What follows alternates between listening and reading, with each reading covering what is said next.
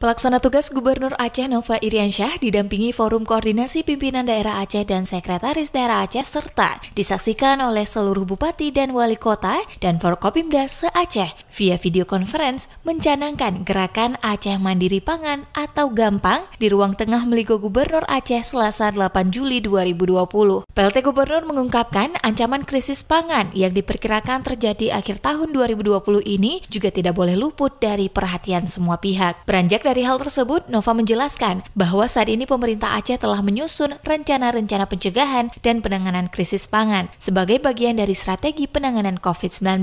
Nova menyebutkan bahwa prioritas gerakan ini fokus pada beberapa komoditi, yaitu padi dan jagung, budidaya ikan lele, sayur-sayuran dengan memanfaatkan lahan perkarangan, ketersediaan telur ayam, serta memastikan ketersediaan air untuk lahan pertanian. Untuk mendukung gerakan ini, Nova mengimbau agar gugus tugas percepatan penanganan COVID-19 kabupaten kota berperan dalam merumuskan masing-masing tugas guna menyukseskan gerakan yang menjadi bagian tidak terpisahkan dari upaya-upaya yang berkaitan dengan pencegahan dan penanggulangan COVID-19 di Aceh. Nova juga mengimbau agar para bupati dan wali kota melalui Badan Pengelolaan Keuangan Daerah atau BPKD segera berkoordinasi dengan Badan Pengelolaan Keuangan Aceh untuk mekanisme dan proses pencairan sesuai ketentuan yang berlaku. Sementara itu, Kapolda Aceh Irjen Pol Wahyu Widada dalam sambutannya mengatakan siap mendukung pencanangan gampang yang digagas PLT Gubernur Aceh. Hal ini dikarenakan masih ada beberapa komoditi yang harus diimpor dari negara lain. Hal senada juga disampaikan oleh Pangdam Iskandar Muda Majen TNI Hasanuddin. Usai mendengarkan pemaparan dari Bupati Wali Kota, PLT Gubernur Aceh menyampaikan apresiasi atas berbagai langkah yang telah diambil oleh Pemkap dan Pemko dalam upaya mengantisipasi krisis pangan yang diakibatkan oleh pandemik COVID-19.